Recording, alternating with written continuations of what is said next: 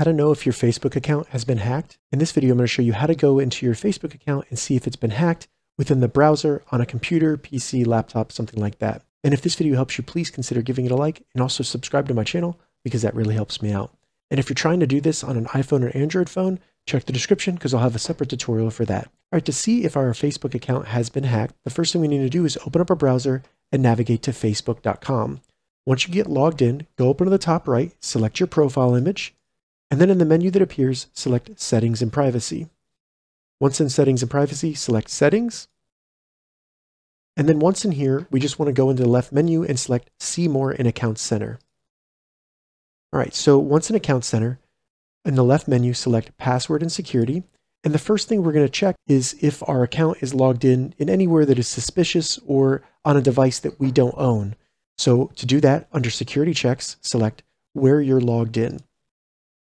Then just select the account that you want to check to see if it's been hacked. You'll then see all the locations and devices where your account is logged in. First, you'll see the device that you're currently logged in, but below that, you'll see other devices where your Facebook account is logged in. So you can see this is an iPhone. If it's an Android phone, it'll say Android phone or Chromebook or MacBook, Windows computer, things like that. So go through this list, and if you see any devices that you don't own or should not be logged into your Facebook account, or you see anywhere in a location where you never logged in, we can quickly log those devices out of our Facebook account by selecting Select Devices to log out. So select that. Then once here, we can select either individual devices to log out of our Facebook account, or you can select all, and that'll log out all devices from your Facebook account. So I'll do select all, and then I'll select log out. Confirm that you do want to log these devices out of your Facebook account. And then there we go. The only device that's currently logged into our Facebook account is the device that we're currently using Facebook on. So now what we need to do is close this. And then what I recommend doing is going through a security checkup. So select security checkup here. And now we can go through some process that Facebook has that'll help us secure our Facebook account. So select continue. And what I would recommend doing is first changing your Facebook password to something new that if there was a hacker that has your Facebook password, they will no longer know that password.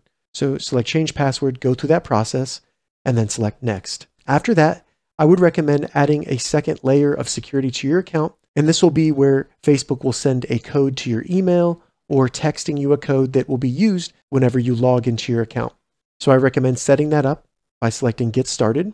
And this is really probably the strongest way to prevent anyone from hacking your Facebook account. Once you've done that, select Next. And now we can turn on alerts. So if anybody does happen to log into our Facebook account that is not us, we will get a notification letting us know that someone has logged into our account. So I'm going to turn that on. And once it's turned on, you can select Next.